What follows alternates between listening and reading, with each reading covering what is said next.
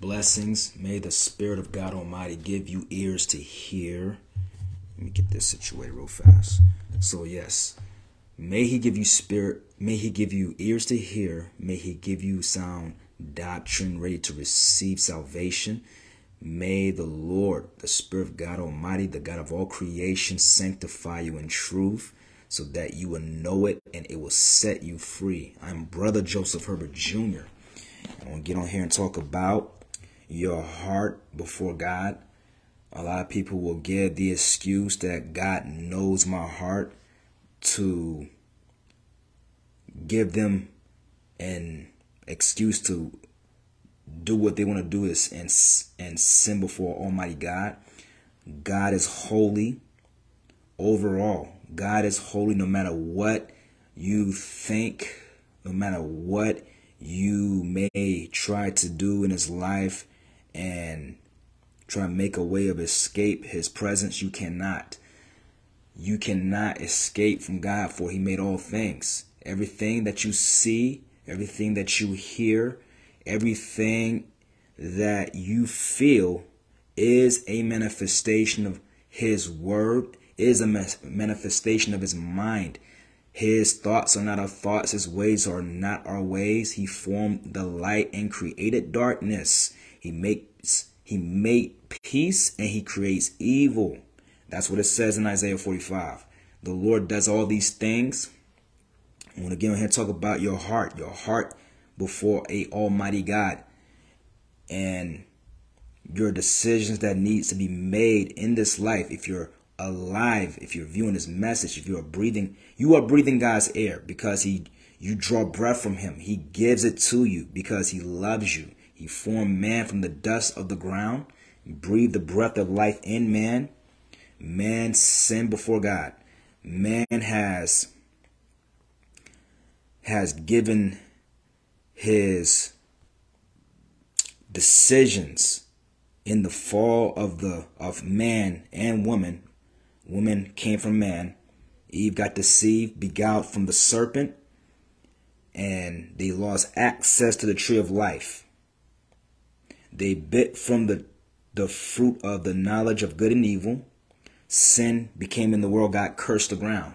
So there was access not to God. But however, the Lord loves man.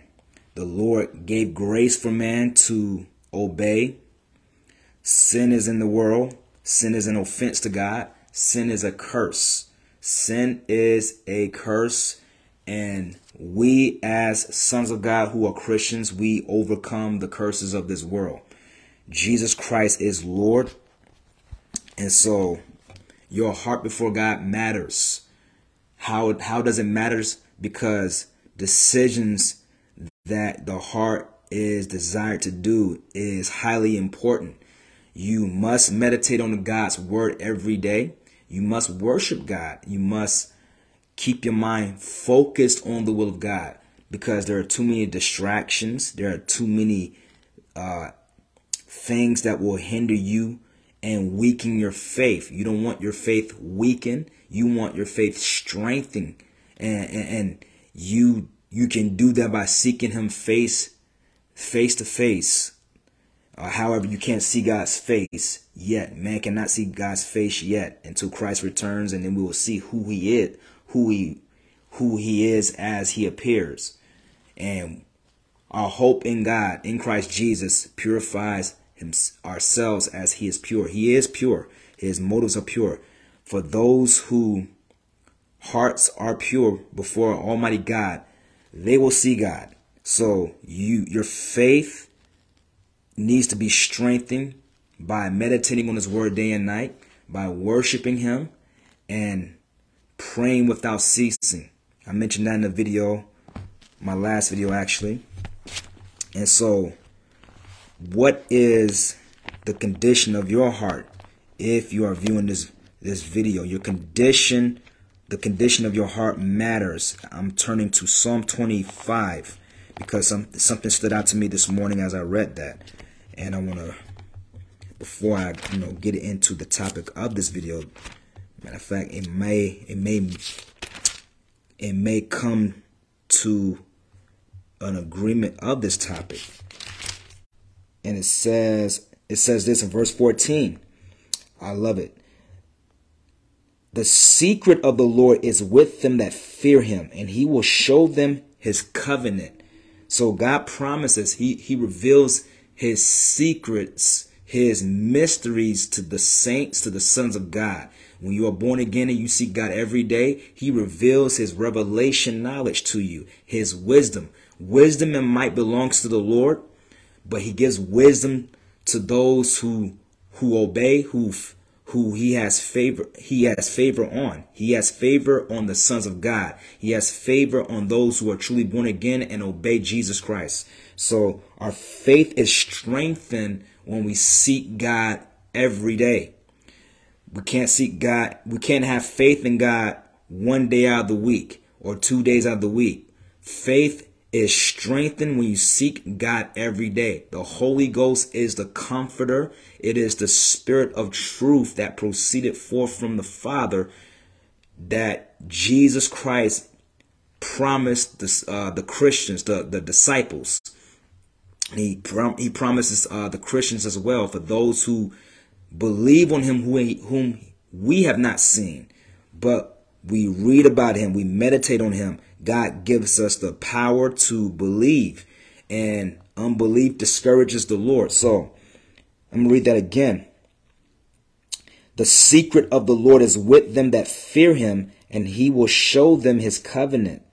And so, what is a covenant? A covenant is a binding agreement between you and God, a binding agreement before the God of all creation. God makes covenant with man. We are living in the new covenant, the New Testament, and Jesus Christ is the new covenant because he fulfilled the law. He did the will of the Father and obeyed in all perfection. So God wants you to go on to perfection, perfected holiness. God is holy and his standards are just. His, his statutes are joy uh, are just and it rejoices the heart when you obey because you want to take full delight in the Lord. So Judas Iscariot, um, before I even get into Judas Iscariot, like disobedience, the curse of man before God who is holy, especially a professed Christian. When you profess that you are a Christian, you're saying that I obey Jesus. You you're saying that I my faith is fully in him. You are saying that I am holy as he is holy. You know, you will have the the accusation on most sons of God, oh, you think you're holier than thou. And you know, they say that to offend. But no, we don't think we're holier than thou. We can't be. We are holy as he is holy. We're striving to be holy as he is holy. And it's and it's a possibility that we can do that. We because he commanded, "Be holy, for I am holy. I am the Lord your God." So your heart before God must be changed. If you are professed to be a Christian, your a, a disobedient heart betrays the Lord. So Judas Judas Iscariot was one of the twelve. He was a devil. Jesus says, I have chosen you 12, but one of you is a devil. Why did he call Judas Iscariot a devil? Because he was a thief and his behavior resembles the devil. If you are operating or thinking in a way that is contrary to the will of God, you behave like the devil if you're thinking always about ways to uh, sin against the Lord, and you may question, Brother Joseph, what are you talking about? I am I am obeying the Lord. But what about the things that you watch? What about the things that you listen to? What about the things you partake in that God absolutely despises? Um, that is not the will of, of the Father. A carnal mind is enmity against God. A and friendship with the world is enmity against God. Enmity is is a way of you showing your animosity towards God. So Judas Iscariot behaved like the devil because he was a thief. He would Jesus called him a devil. And so in John chapter 13, so Jesus says, now I'm going to start in verse 17. If you knew these things. No, give me verse 18. I'm going to start in verse 18. It says, Jesus says, I speak not of you all. I know whom I have chosen, but that the scripture may be fulfilled. He that eats bread with me and has lifted up his heel against me. So that is written in Psalms. Now I tell you before it come that when it is come to pass, you may believe that I am he. Verily, verily, I say to you, he that receives whomsoever I send receives me, and he that receives me receives receives him that sent me. So Jesus is reaffirming reaffirming his disciples, giving them assurance that when you behave like Jesus and obey Jesus, you not only receive Jesus Christ, but you receive the Father as well. And the Father and the Son are one as Jesus Christ describes that. And so when you receive the Holy Ghost, those three are one. Jesus, Father, and the Holy Ghost. These three are one. So Jesus became troubled in spirit. In verse 21, it says, When Jesus had this had thus said, he was troubled in spirit and testified and said, Verily, verily, I say unto you that one of you will betray me. One of you will betray me. He was talking about Judas Iscariot, obviously, because that's what, when every time Judas Iscariot's name is mentioned, it always says the one who betrayed Jesus or the one who be, became a traitor. It has to let you know that because the God has to point out he is holy. This person is wicked. This person is a traitor. He betrayed my son. And so Judas Iscariot had power from the Lord. Why do I say that? Because he was part of the 12 and Jesus Christ in, I believe it's Luke chapter 10, when Jesus says, Behold, I send you out. I give you power and the authority to tread upon serpents and scorpions and over all the powers of the enemy. Nothing shall by any means hurt me. So Jesus Christ says, Verily, verily, I say to you that one of you will betray me. He quoted a scripture in Psalms. Um, I forget which Psalms. So I believe it's Psalm 41. Psalm 41. He that eats bread with me has lifted up his heel against me. Now, why does it say heel? And so, when I was in the world, I used to watch things, uh, sports entertainment like wrestling, and I was so into it. And it always have a division, the good guys versus the bad guys. Now it, it came to a one, you know, an event that you will see a good guy betray a, another good guy and becomes a bad guy. So that person will be called a heel. And it always used to shock me. I'm not to name the wrestlers or anything like that, but it always used to shock me to see a good guy turn bad. And when I read the word of God and it talks about he has lifted up his heel against me, a heel is a bad person. A heel is a traitor. That's what Judas Iscariot became. So then the disciples looked one on another, doubting of whom he spoke. Now there was leaning on Jesus' bosom one of his disciples whom Jesus loved, Simon Peter, therefore beckoned to him that he should ask who it should be of whom he spoke. He then lying on Jesus' breast says unto him, Lord, who is it? Jesus answered, He it is to whom I shall give a sop when I have dipped it. And now, when Jesus says this, at the same time, he's doing this. And when he had, because it says, and when he had dipped the sop, he gave it to Judas Iscariot, the son of Simon. And after the sop, Satan entered into him. Then said Jesus unto him, that you do, you do quickly. So how did Satan enter into Judas Iscariot? Because there's an open door. There is access he gave the devil access because he was a thief. And so the devil's cursed reprobate role in the, the in this life is only to steal, to kill, and to destroy. He can't do nothing else. He's the father of all lies. The truth is nowhere found in him. Jesus Christ revealed that in John chapter 10. So when you are a thief, you are capable of stealing and you do steal. So Ju Judas Iscariot was the was the traitor, and after the sop, Satan entered into him. So maybe you have to understand. So when you behave out of a disobedient and willfully disobeying God Almighty, you are giving devils access in your life. You behave like Satan.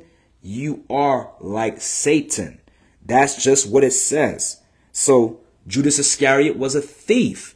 The devil's job is to steal, kill, and destroy. Steal. To to steal is one of, is the eighth commandment out of the ten commandments. You shall not steal. So Judas Iscariot was a thief. The Ten Commandments is the law of Moses. And there was more than just Ten Commandments. There's just the Ten Commandments on the two tablets that Moses came down from Mount Sinai and the Lord gave them. He, Moses broke the first ta uh, two tablets out of his anger because the children of Israel sinned against God while Moses was on the mountain 40 days. And there was made they made a golden calf. They had Aaron made a golden calf and they was doing um, the unadulterated sin. They was partying and drinking and all kinds of things was going on while Moses was in, up on the Mount Sinai with, uh, with the Lord 40 days. He comes down and breaks the tablets and the two tablets had to be made again. So the two tablets is the Ten Commandments on there. So again, Judas Iscariot was the one who betrayed. So Jesus tells Judas Iscariot that you do do quickly. Now no man at the table knew for what intent he spoke to this, uh, spoke this to him. So the, the, the disciples were clueless why Jesus said that to Judas. They it says they thought because Judas had the bag that Jesus had said to him, buy those things that we have need of against the feast, or that he should give something to the poor. He that having received the sop went immediately out, and it was night. So God is light in him. There is no darkness. So Judas Iscariot had given the devil access to enter into him. And so the devil's kingdom is the kingdom of darkness. So, so why not go out at night? Why not go out and betray Jesus? Because the, Jesus commanded what you do, do quickly. So Judas Iscariot already already had access, the devil controlling his heart and his desire. He didn't put away being a thief. That's the importance of repentance. You have your your heart has things that needs to be confessed to the Lord. Repentance is necessary. Repentance is a changing of your mind and your desires that is contrary to the will of God. You know that if you do bad things, if you think bad things, you have to confess that to the Lord. That's why praying without ceasing is important. Praying in the spirit, the praying in the most holy faith, praying in the gift of tongues. And or, you know, praying, confessing boldly before the, the Lord of glory, the, the his throne of grace. Lord, I thought these things and I didn't like them. You don't like them. I want to please you. I want to be honored by you, by my obedience to you. Father, forgive me, cleanse me, wash me, make me holy as you are holy, make me faithful as you are faithful. And so God will cleanse you from all unrighteousness. His word promises that. First John, I forget which verse. Let me see. Let me turn it real fast. First John chapter, I believe it's chapter one. I believe it is chapter one as I turn to it. So it says, yes, it is chapter 1. If we say that we have fellowship with God, nope, further down, further down. Right here in verse 9, it says, if we confess our sin, he is faithful and just to forgive us our sins and to cleanse us from all unrighteousness. You have things in your heart that you may think that it is okay, but we have to be honest before God. God is holy. We have to show a form of integrity. God desires truth in the inward parts and in the hidden parts, he will make us to know wisdom. That's what it says in Psalm 51. If we confess our sins, he is faithful and just to forgive us our sins and to cleanse us from all unrighteousness. Excuse me. If we say that we have not sinned, we make him a liar and his word is not in us. So in prayer every day, facing adversity, facing different atmospheres of the day, it is highly important that we seek God first. You may come home from work and you have you need to seek God. You need to seek the Lord to wash the filthiness of the atmosphere from the job off of you.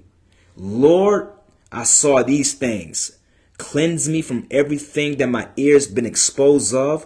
Cleanse me, scrub my mind from all the multitude of busyness, the multitude of conversations that were carnal, filled with profanity and blasphemy. Fill, uh, cleanse me. Let it not be a part of me, for you are holy. Lord God, I do not want to be filthy. You are holy and pure. And every man that has this hope in you purifies himself just as he is pure. So God will wash you thoroughly from the atmospheres of the day. He will wash your mind from what your mind has been exposed of by these two eights. You have eyes and ears. The eye, your eyes are the windows to your soul. Jesus says, that the light of the body is the eye. If your eye be single, your whole body will be full of light. So Jesus Christ want wants you holy. He wants you to be like him so you can obey the Father. And when you are abiding in Jesus, you are abiding in the Father because the two are one and also the Spirit of God and the sons of God are one as well. Father, Son, and Holy Ghost my wife was showing me as somebody who had a tattoo. This person was not a believer, but a tattoo of three dots on the wedding finger. And she told me that it would it the person explained that it represents the Holy Trinity. Now the person that got the tattoo obviously did not know what is the Trinity or what's the meaning behind the Trinity. Trinity is not in the the word Trinity is not in the Bible, but Father, Son, and Holy Ghost, these three are one, which is describing the Trinity, is found in First John chapter 5. So this person had a tattoo, and as obviously tattoos is a sin before a holy God. The word of God says in Leviticus 19, do not make any cuttings into your flesh, no tattoos or markings on your body. I am the Lord. We obey God fully. We obey God to the most highest extent of your capability. We strive and we enter in. Yes, that was Old Testament, but God, the Word of God says He does not change. Hebrews, I think it was, I think it's chapter 10. Jesus is the same yesterday, today, and forever. Jesus Christ is Lord. So the truly born again Christians does not get tattoos. We obey God. This temple is the body of the Holy Ghost. This your body is the temple of the Holy Ghost and we glorify the Lord in our body, not with carnal things, not with things that attract the world. We want to attract Christ in us so we can draw all men to Jesus Christ so men and women can be saved. So men and men, men and women can be born again. Jesus Christ is Lord. Now the dangers of sin, I was meditating on Judges chapter 16. That's the chapter of Samson. Let me turn there real fast. So that's the chapter of Samson when he Delilah So Samson had a lust problem. Samson is not the greatest example of a a, a man of God. He he was a man of God because the strength that Samson had was of the Lord. He did many things it, with his strength, but his problem was lust and fornication and adultery. He looked with lust. He it starts off in verse 16. Then when Samson went to Gaza and saw there a harlot, uh, what is a harlot? A harlot is a prostitute, and went in unto her, meaning they was intimate sexually. And it was told the Gazites, saying, Samson is come here, and they compassed him in and laid wait for him all night in the gate of the city and were quiet all the night, saying, In the morning, when it is day, we will kill him. Now Samson demonstrated his strength, but I want to get to the part where when Delilah comes into the picture. Now it says in verse 4, And it came to pass afterward that he loved a woman in the valley of Sorek, whose name was Delilah. Delilah um, made covenant, just like Judas Iscariot made covenant with the Pharisees and the chief priests and elders to betray Jesus Christ the Lord for 30 pieces of silver. So the lords of the Philistines came to Delilah and said to her, Entice him and see wherein his great strength lies, and by what means that we may prevail against him, that we may bind him to afflict him, and we will give you every one of us 1100 pieces of silver. It seemed like the pieces of silver was of great value. So Delilah gave in. She wasn't a righteous woman, but the way this came about to Samson that the a man of God in the new we're living in the New Testament, we can we don't we not are we are not ignorant of Satan's devices. Delilah, how she did this was just just plain as day. Verse 6 it says, And Delilah said to Samson, Tell me, I pray you, wherein your great strength lies, wherewith you might be bound to afflict you. Why would you even answer a question like that? Those are decept that's a deceptive question. Samson was unaware because of his lust. That is the problem with sin. Sin will curse your mind. If you don't have faith in God, you cannot see the deception of the enemy. You cannot see how the devil is crafty and cunning and he wants you to spend forever in hell. He don't want you to spend forever with God. So Delilah uh, tried to manipulate Samson. In verse 7 it says, And Samson said to her, If they bind me with seven green withs that were never dried, and that was a lie, then shall I be weak and be as another man. Then the lords of the Philistines brought up to her seven green whips, with with uh, which had not been dried, and she bound him with them. Now there were men lying in wait, meaning they was waiting to kill him, abiding with her in the chamber, and she said to him, "The Philistines be upon you, Samson." And he broke the whips and as a thread and tow and broken it with when it touched the fire. So he his strength was not known. So yes, yeah, Samson uh, lied to Delilah, and that's obviously not obviously not counted as righteousness, but it's the fact that Delilah was very deceptive, and you hear about wicked women in the Bible like Jezebel, like Athaliah, Jezebel's daughter, uh, and other women I can't think of right now, but uh, Delilah got upset at Samson for lying.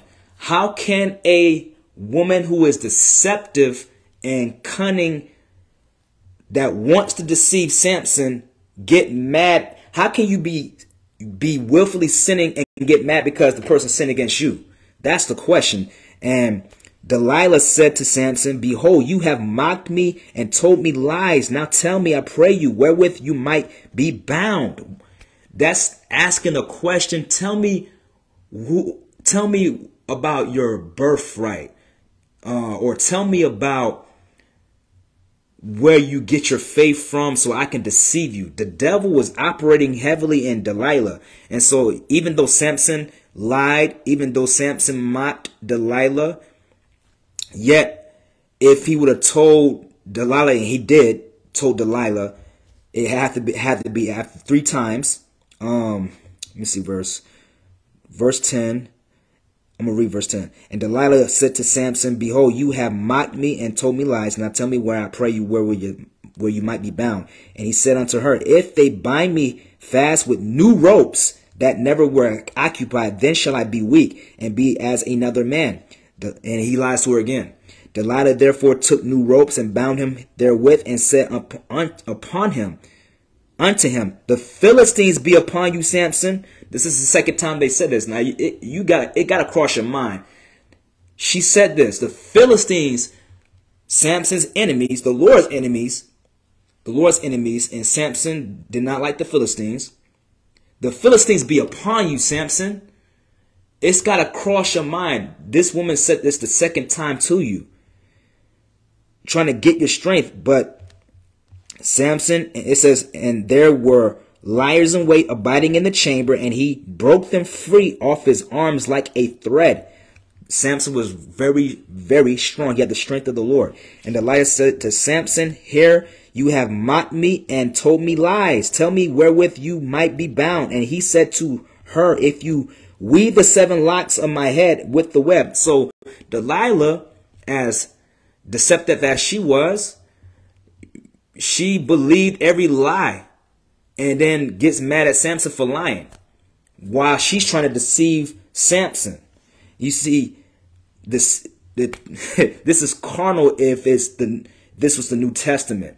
You can't you can't you know both are unrighteous. The the the word of God says in Proverbs 11, a false balance is an abomination to the Lord. Now I'm not saying Samson went to hell after doing after lying to Delilah. He was a Nazarite. He was a Nazarene. And so Delilah got mad at Samson for mocking. And and it says in verse 14, and she fastened it with the pin and said to him, The Philistines be upon you, Samson. This is the third time. And he awaked out of his sleep and went away the pin of the beam and with the web. And she said unto him, How can you say, now here's the thing. This is the deception. How can you say I love you when your heart is not with me? That's got to do something. This is the issue of lust. This is the issue of sexual perversion, sexual uh, um, lust in the eyes of God. God will give you over if you continue to partake in sin. He will give you your mind at a measure of blindness and confusion. So Samson could not see the deception, but yet his heart loved Delilah at a measure of condition. It wasn't unconditional love. No. And I believe it's Proverbs 30 that says to give not your strength to women, for it destroys kings. And so now Delilah is mocked and she questions him and says, How can you say I love you when your heart is not with me? You have mocked me three times and have not told me where your great strength lies. And it came to pass when she pat, uh, pressed him daily with her words, meaning she she pressed him. It says, and urged him so that his soul was vexed to death. He she pressed him and I can't, I only, I can't even imagine how she pressed him, continued to ask him, where does your strength lie? Where do you get this from? How can you say you, should, you love me? She was playing with his heart, messing with his heart, even though Samson had a lust problem. And then it says in verse 17 that he told her all his heart.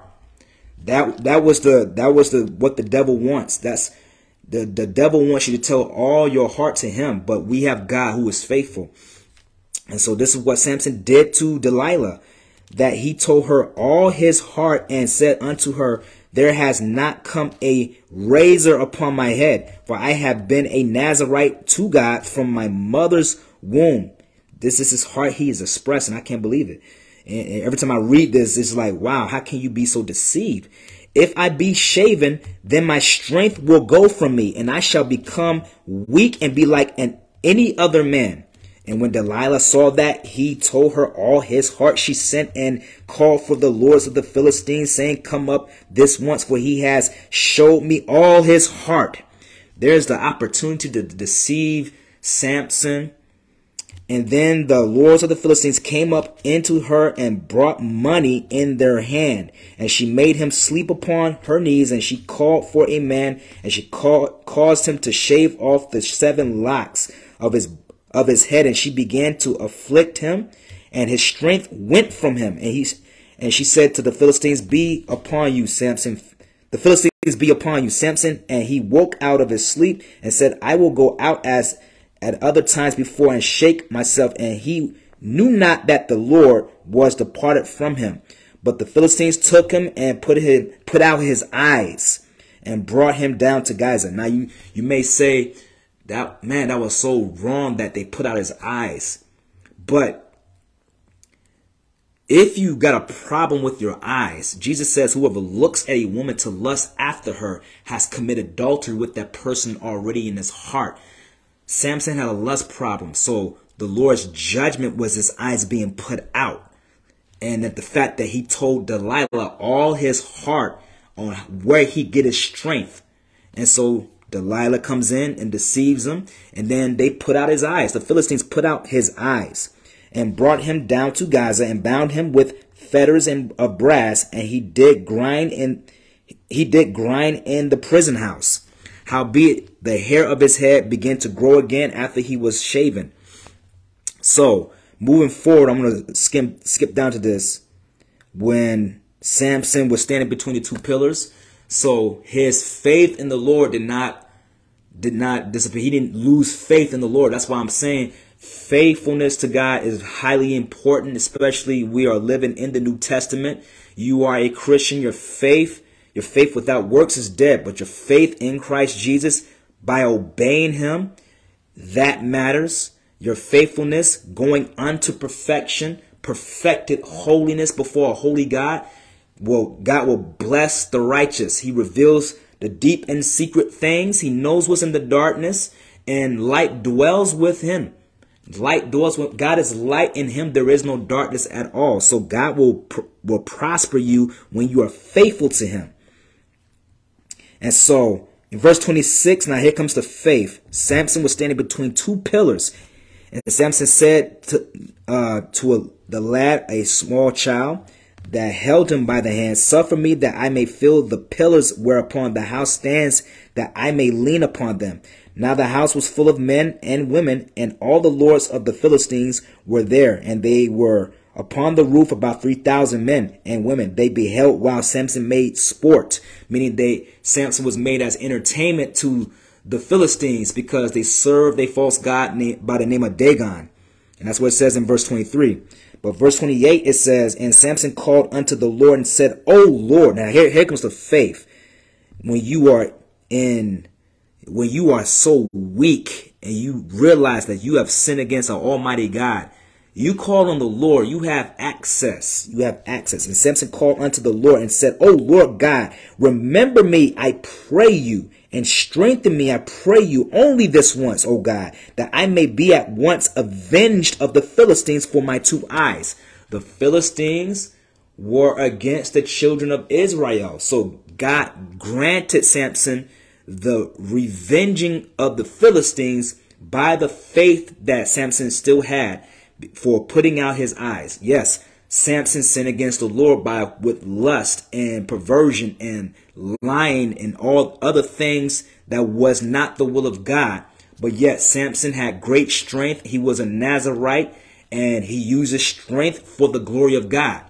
And so the Philistines were were uh, God's enemies I gotta read 28 again. It's so powerful. Samson called to the Lord and said, Oh Lord God, remember me.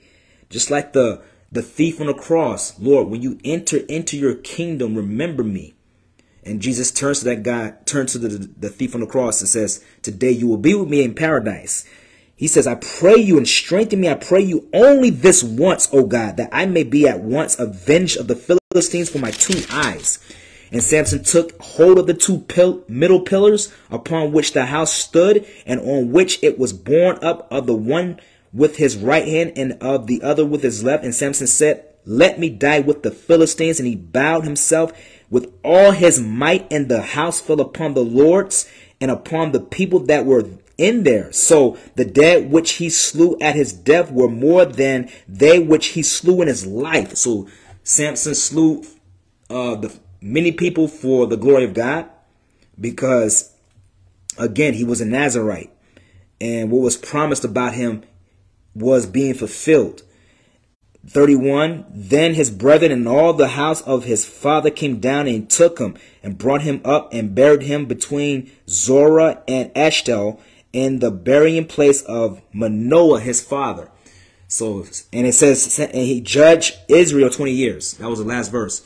So Samson, who again he who was not the greatest example of a of the righteousness of God, yet the faith that Samson had, still had in the Lord, God moves and works through faith. God works when you have your faith in God. You don't lose it. You ask the Lord to increase your faith so you can be faithful, full of faith. So you can hear, well done, my good and faithful servant. That's what you want to hear when you stand before God Almighty. And so Judas Iscariot was the traitor to Jesus. Delilah, both individuals, Judas Iscariot betrayed Jesus for 30 pieces of silver, innocent blood. Samson um, was betrayed by Delilah for 1,100 pieces of silver. And that is called extortion. That's talk, Paul mentions that in 1 Corinthians chapter 6 when he gives a list of those you do these things, you will not inherit the kingdom of God. Paul, by the Spirit, mentions another, some more stuff that that is not the will of God for the unrighteous man, but that we have our hope in Christ Jesus. We place our faith in Christ Jesus. We do not live by bread alone, but by every word that proceeds out of the Lord's mouth. So Jesus Christ is holy, and you want to develop your relationship with God in Christ Jesus every day by seeking Him every day in prayer. And so you don't want to hear the words, Depart from me, I never knew you. Why would He say that? Because those who practice iniquity and operate in wickedness, God despises that. He doesn't want no, he, there's no uncleanness in the sight of God. God is holy. God is pure. You want to spend forever with God when what pleases God the Father is a clean is clean hands and a pure heart and you walk in Christ abide in Jesus Christ so that he abides in you because you are a branch and the branch cannot bear fruit of itself unless it abides in the vine neither can you unless you abide in Jesus and he is the vine you are the branches he that abides in Jesus Christ bears much fruit, for without Jesus Christ in your life, you can do nothing. Jesus Christ is holy. You, you need to get, you need to commit to Jesus Christ. The gospel is for the meek. And it says that in Isaiah 61, the same uh, chapter that Jesus Christ quoted when he stood in the synagogue and was given a scroll to read out of. And he read out of Isaiah 61. And then he says, Today, this uh, law is fulfilled. This, this is fulfilled within your ears. And they all wondered and marveled. Is this the Christ? They, they wanted to put him out. Jesus did the will of the Father. He says, My meat is to do the will of the Father who have sent me. Guess what? He has done so and he's completed the task. He's completed the mission. He made a way for man to be free from bondage, hard bondage, strong bondage, things that bind you from and preventing you from access to God through the Father, through Jesus Christ to the Father. Jesus Christ is Lord and he commands all men to repent and believe on him. He is the way, the truth, and the life. No one comes to the Father but through Jesus Christ. So Let this message be an encouragement to you. You are ordained. If you are a believer in Christ Jesus, you are ordained to spend forever with God. He, he ordained you that you should go bear fruit and that your fruit should remain, that whatsoever you ask the Father in his name, he may give it to you. So Jesus Christ is he ordained you, meaning he's he has authorized or been invested with invested in you with authority and conferred holy orders from the Lord. He commands you to obey, and when you keep his commandments, you abide in his love. This is Brother Joseph Herbert Jr., and this is for his glory.